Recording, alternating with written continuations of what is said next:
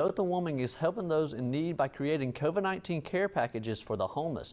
Erica Witt has collected things like wipes, toothpaste, and more. So Sara Wilson joins us live to tell us what made White do this. Sara. Well, Brantley White was filled with joy today, and she's been planning to do this because she's big on helping the homeless. Here's her story. You've heard the phrase, no child left behind. Well, one resident is applying this to those who are homeless. In the, the boxes we have antibacterial wipes, cough drops, mask, toothpaste and toothbrush, of course.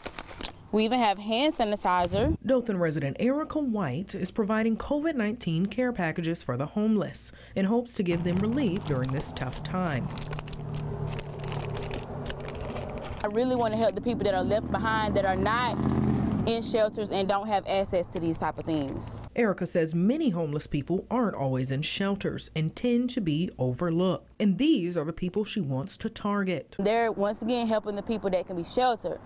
My mission is to help the people that don't have access to these, like, you know, that can't get in the shelter and have masks. They need to be safe just as we are. White's nonprofit organization, Just New Beginnings with Angels, focuses on helping the homeless as much as possible. Erica's support team is also contributing to these care packages as well. For every box that someone donates, we donate three non-perishable items as well. She plans on going around Dothan to personally give the packages starting at the Dothan Library.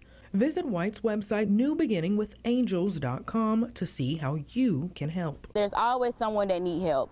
Even if it's something, like I said, even if it's something so little as soap. White is still accepting donations for her care packages and can be reached by the number on your screen at 334-596-9431. She accepts PayPal and Cash App and hopes this makes residents be thankful for what they have and help those in need. Back to you, Brantley.